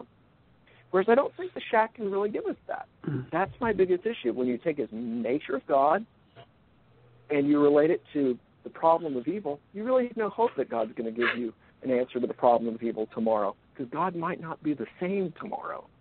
And that's the fundamental difference. Seven six zero five four two three nine zero seven. Seven six zero five four two three nine zero seven. Friends, if you've got a call or a question, rather, feel free to call, and uh, would love to put you on and have a conversation with you. All right. Uh, one of the other problems you have outlined here in this article is the rejection of sola scriptura. Talk to us. What is sola scriptura? and uh, how has the how has the shack kind of uh, diminished that? Sola Scriptura is the belief that Scripture and Scripture alone is the sole infallible rule of faith for the church. Let me unpackage that. Scripture alone is the sole, meaning the only, infallible, it's not able to err, rule of authority for faith in the church. And I could package that and say that differently. Notice what I'm not saying. I'm not saying that it's just um, me and my Bible and no theology. I'm not saying that historical witnesses such as John Calvin and Luther don't have any influence in this. I'm not saying it's no tradition. I'm just putting tradition in its rightful place. Namely, it's a servant to the scriptures, not the master over it. Tradition has a ministerial authority, not a magisterial authority. Scripture has the ability to, in a sense, um, bind the conscience, whereas tradition does not. And what's going on here is, is that particularly with the shack, he's rejecting Scripture or the authority of the Bible to determine matters of faith and practice. Rather than finding a Bible by the altar in a little country church and getting comfort, comfort and counsel from the Word of God, he's saying we need to go to an empty shack in the wilderness with no Bible, and somehow we're able to cope with all of life's tragedies and the problem of evil. And he actually says this at one point in his book. He says the the author rejects what in seminary he had been taught that God had completely stopped any overt communication with moderns, preferring to have them only listen and follow sacred scripture. He says God's voice had been reduced to paper. It seems that direct communication with God was something exclusive for the ancients and that nobody wanted a God in a box, just in a book. And while that sounds really good, you know, to people who are given over to his worldview, the problem is is that as we look at this, he's trying to say what he'd been taught in seminary with this overt communication from God his thoughts. But the issue is, is that the Bible does teach that it is the sole infallible rule of faith, and that it is we have a closed canon. God isn't giving new revelations here and there. Um, aberrant groups throughout the history of the church have usually undermined the concept of sola scriptura in one of two ways. They either use things like tradition um, that doesn't agree with the Word of God, or they're claiming things like um, Revelation teaches me contrary. Both are undermining the concept of sola scriptura because what ends up being the sole authority in tradition and scripture is tradition over scripture. And what happens here is experience trumps revelation, biblical revelation, or these new encounters trump what the biblical text is saying. So, in that sense, he's rejecting scripture as the sole authority. He's really giving us this idea of experience or um, divine direct encounters from God as the final authority. This, so that's this, the first is, half of it. Yeah, just just real quick, Bill. I was just going to say this, and this this is not, unfortunately, something that is unique to the shack, is it? I mean, you've got man. This happens all. It seems like it happens all the time with churches today, where they really, especially, you know, I don't don't want to get too narrow, but sometimes in the Pentecostal and charismatic movement, especially, it's this idea of, of experiencing God, you know, and that's um, because God's not just contained to a book, and God's not just you know a bunch of propositions, and so it really seems to almost undermine the idea of sola scriptura, like you're saying. It does. Um, we recognize that you know as we look at William Young, which channel was he on when he did that interview that you played earlier? TBN. How do they justify most of their theological claims? Divine, yeah, direct revelation.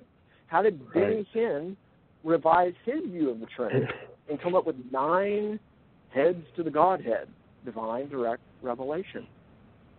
So this is nothing new to William Young. In fact, it, it really is the offshoot of many individuals within sort of the Pentecostal charismatic movement it's also the means that a lot of our cults develop their view of doctrine.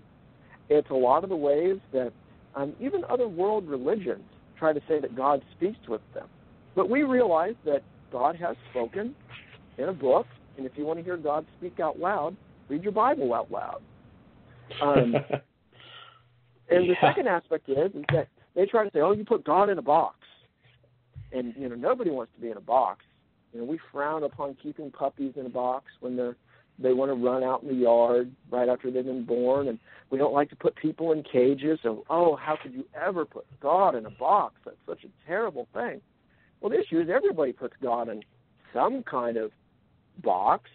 Namely, you say God can only do this, or God must be contained and act according to his nature, or you put him in the box or the conditions that say God can constantly be doing other things all the time.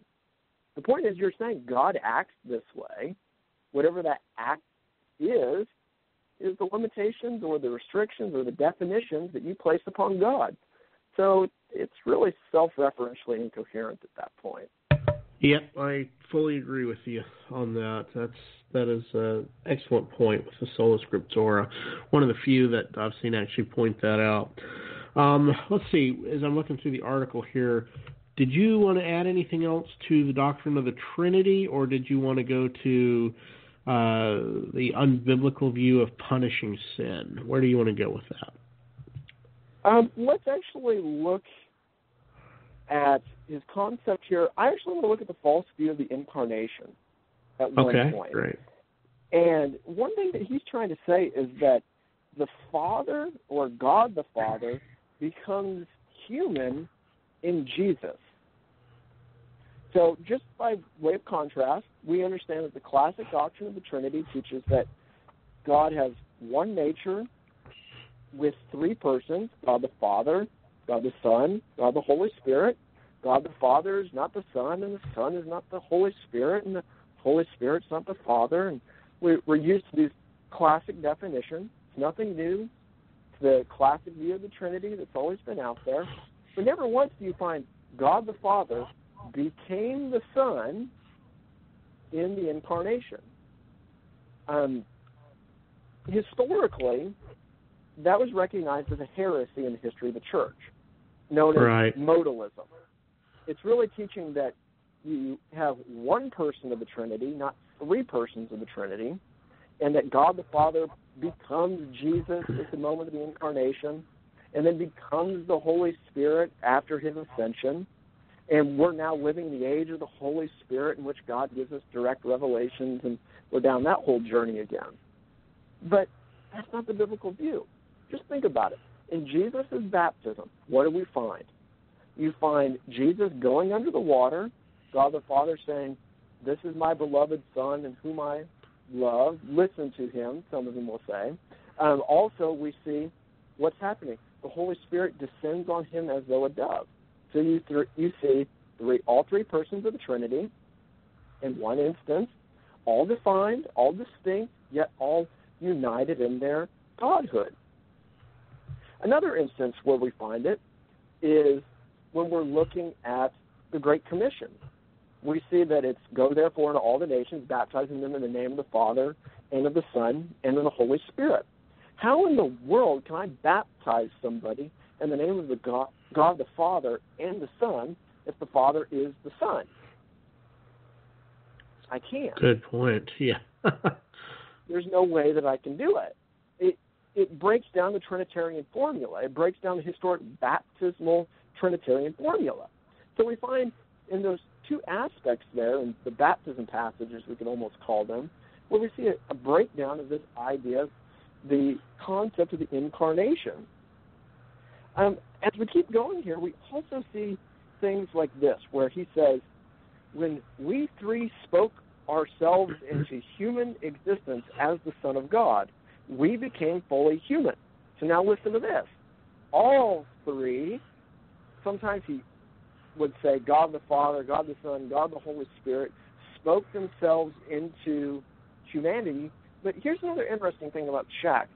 You have to read with a discerning eye because sometimes he has this concept of wisdom, which is almost like this fourth head to the Godhead. And I think that's one of the aspects he has in reference here. We, God the Father, Son, and Holy Spirit, and wisdom, who's floating around out there, all spoke ourselves into human existence as the Son of God.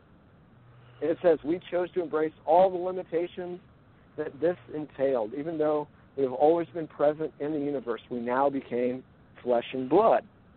However, this is a serious misunderstanding of the person of the Godhead who assumed the human nature in addition to his divine nature. Neither the Father nor the Holy Spirit, who is pure spirit, became human or added flesh. Only the Son did. That's so clear from the Chalcedonian Creed as we look at it. Um, you know, kind of belaboring this just for the sake of time, we have Athanasius. Do we remember who that is? The great. Oh yeah, Saint Athanasius. The great teacher, Athanasius. And what was his major concept that he used? The, the Latin phrase Athanasius contra mundo. Athanasius against the world. And what he was battling at this point was a bunch of Arians who were denying the deity of Christ, um, following during his time period. And what he tried to do is sustain a biblical view of Christ. And what we see following from here is this idea that he gave us this phrase in the incarnation, it wasn't the subtraction of deity, but the addition of humanity. Listen, it's not the subtraction of deity, but the addition of humanity. Right. We could change that say that in the incarnation, it wasn't the dilution of the plurality in the Godhead. Rather, it was Jesus, the second person of the Godhead, adding humanity. And I think that's where Young goes wrong in that sense. It's just not a classic view of the Trinity. It's it is totally aberrant, and it's really a novelty in its own sense. He he just seems to really kind of blow it when it comes to well a lot of things uh, theologically.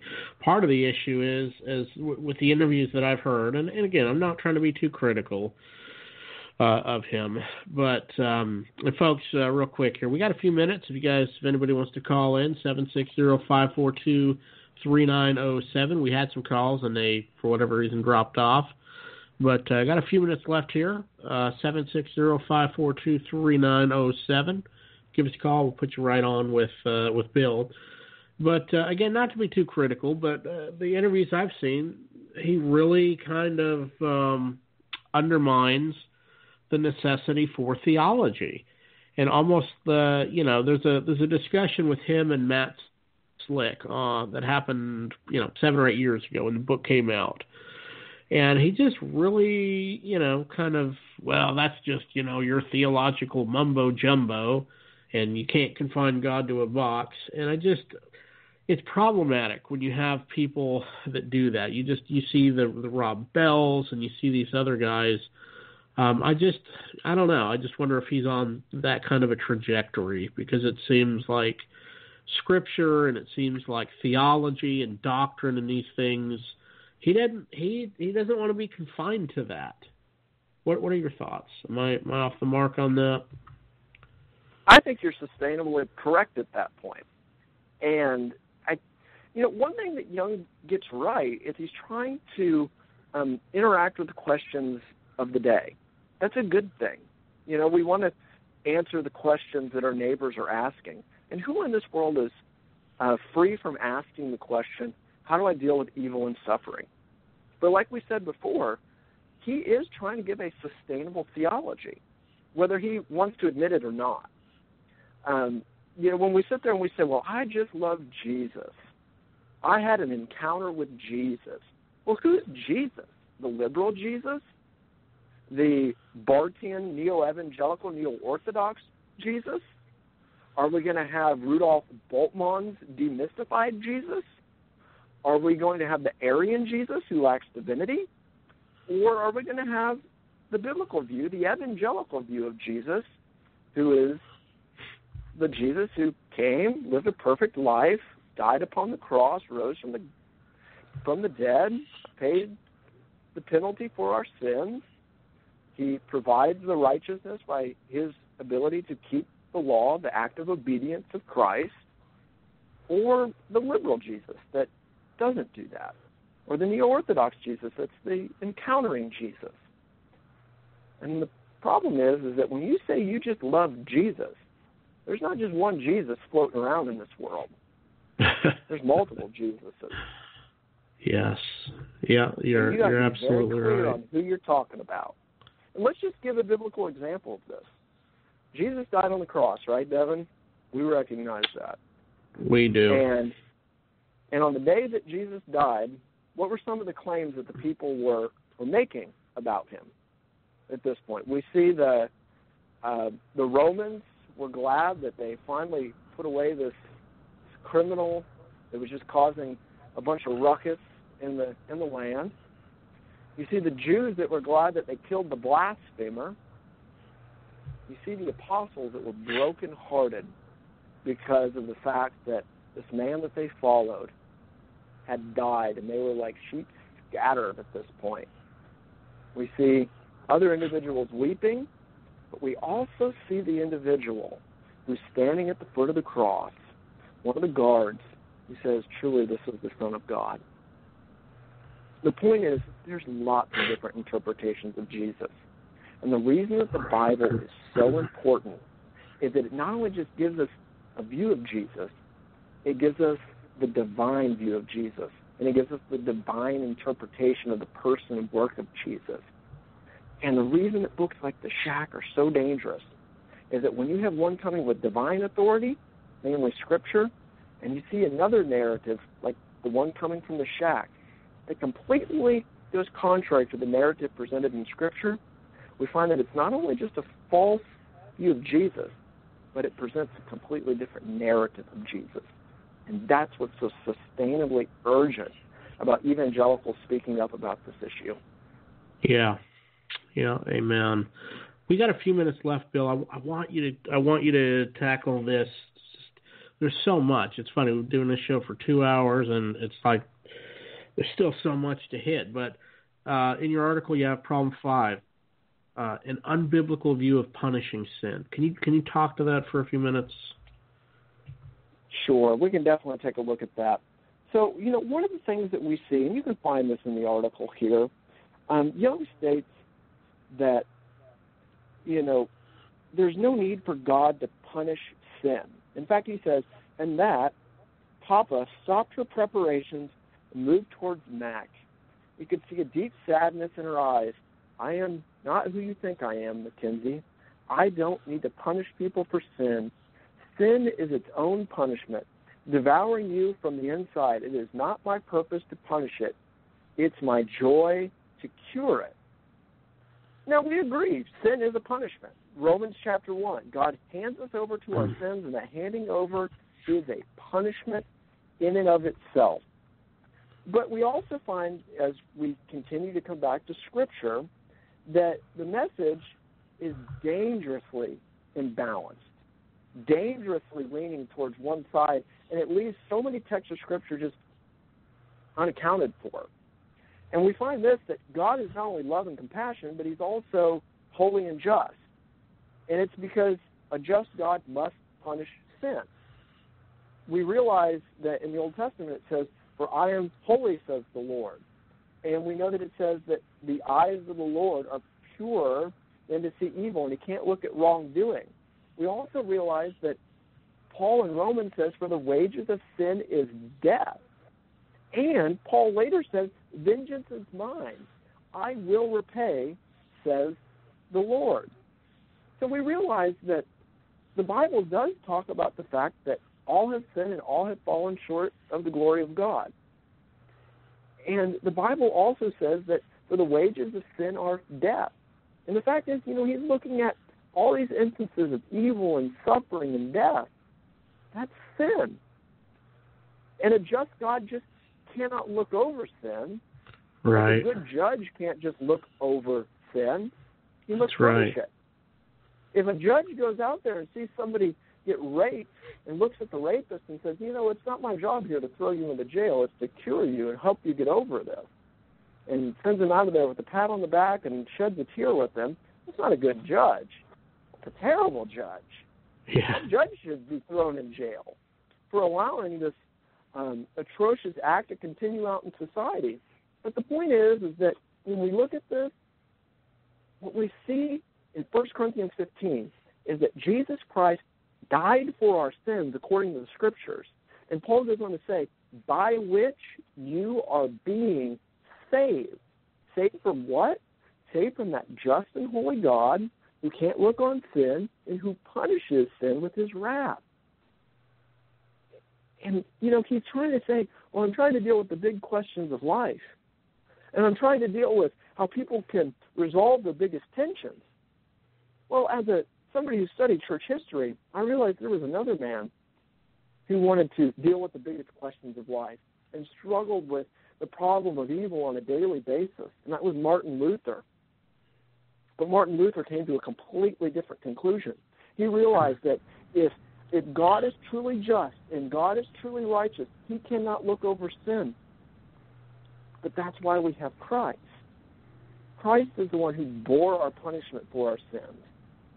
And by faith and repentance in him, we can address humanity's biggest problem, the sin problem. Right. Because what's a bigger problem? To face God clothed in the rags of your sin, or by faith and repentance clothed in the righteousness of Jesus Christ? We know what the Bible teaches. And I think that what we find in Young is this unbiblical view of punishing sin is just contrary to the God of the Bible. Yeah. Yes, I think, folks, unfortunately, at the end of the day, there's a lot of things in that book that uh, just doesn't match the God of the Bible. And uh, for that reason, I can't endorse that book, and I would never recommend it to a friend to read uh, because there's one of these one of these things where there's a lot of bones and not a whole lot of meat. And uh, you know, we hope this show has been been helpful to you guys. Um, Bill, any any parting words here as we we end this episode? To church leaders out there, I would say make yourself familiar with this book, be able to engage with this book, because people have questions about it. To those of you who are sympathetic to the shack, I just really ask that you um, compare what that book teaches to what the scriptures teach and to the testimony of God's faithful saints throughout the ages. Remember, we are the recipients of the grand narrative of Scripture and the bountiful work of great theology throughout the ages. And just because Young wants to turn away from that, I encourage you, don't think that you have to also. Don't try to be a maverick unto his cause. be a uh, a rebel unto the cause of what the scriptures say, and you'll find that you're at that point on the right side of not only history but the text of scripture. Amen. Bill, thank you for coming on, buddy. It's always a pleasure to have you on, and I know we'll have you uh, back on in the future. Thanks again to Marcia uh, Montenegro for also coming on, and uh, really appreciate you guys taking the time to uh, come and speak with us, folks. Uh, you know, two hours we've spent, a little over two hours, uh, really diving into some of these problematic issues. if you go to our Facebook page, you will see both articles from uh, Marcia on there and the article uh, from Dr. Geisler and uh, Bill. And uh, you can go there, you can read those articles, you can see some of the main points there uh, that is made. And, uh, you know, feel free to, to share the articles. Please share the show, share the podcast on your page. And that way people can see kind of in a detailed analysis you know, what are some of the errors of the shack? I think we've tried to be fair, try to be even-handed. Um, you know, there are some some decent things in the book, uh, but there is just a lot of problems with it. So anyway, uh, appreciate you guys coming and joining us, and uh, we will be back hopefully next week, God willing, with some more shows. So uh, until next time, God bless.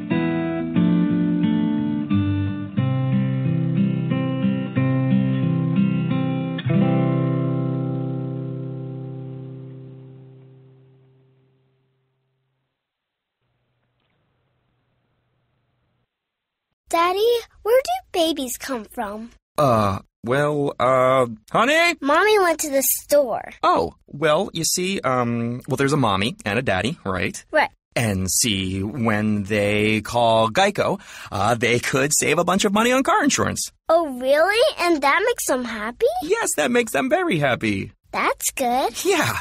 Well, I'm glad we could have this talk, Sunshine. Geico, because saving 15% or more on car insurance is always a great answer. Steinmart's 12 hour sale is a real